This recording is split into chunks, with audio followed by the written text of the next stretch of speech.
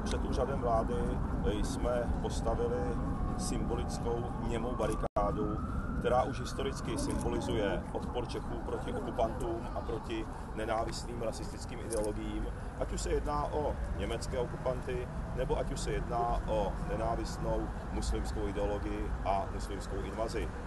Eh, my, my považujeme návštěvu Angely Merkelové v České republice za drzou politickou provokaci.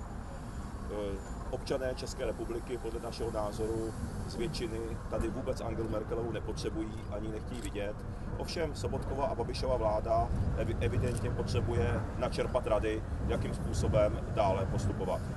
Je to opravdu provokace, protože Angela Merkelová takhle navštívila právě Anglii nebo Velkou Británii, Francii, Českou republiku, nezaměřuje se na Českou republiku. Angela Merkelová pozvala do Evropy miliony muslimských okupantů a způsobila evropské civilizaci nenávratné škody. Eh, budeme tady eh, mít eh, vraždy, budeme tady mít znásilnění, budeme tady mít kriminalitu. Jedná se o obrovské sociální zatížení. Je to i zatížení evropských rozpočtů. Zvýší se sociální pnutí ve společnosti. Vidíme to už jenom za uplynulý rok. A který spíše připomíná svým jednáním Hitlera. A právě proto také stavíme němou barikádu, která během druhé světové války právě kousek odtud v Praze na mostě barikádníků symbolizovala odpor proti těmto fašizujícím tendencím a proti takovýmto typům lidem, kteří eh, vlastně tlačí své názory jako jediný správný proti vůli většiny obyvatel, což v případě České republiky prokazatelně většina obyvatel nesouhlasí s tímto jednáním Angely Merkelové, tak samozřejmě se k tomu stavíme demokratickou cestou, stavíme se k tomu tím, že e, pořádáme tento happening nebo tichý odpor a samozřejmě je důležité, aby e, v říjnu občané ve volbách demokraticky vyjádřili svůj názor.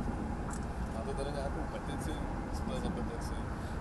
My už od loňského roku jsme sbírali petici e, za referendum za vystoupení z Evropské unie během pár měsíců jsme offline a online se sbírali dohromady více než 100 000 podpisů občanů České republiky, takže tato petice byla letos v lednu již projednávána na veřejném slyšení v poslanecké sněmovně parlamentu. E, ve sbírání této petice pochopitelně pokračujeme, protože Sobotkova a Babišová vláda tuto petici drze schodila pod stůl a zcela ohrnula nos na podpisy více než 100 000 občanů České republiky.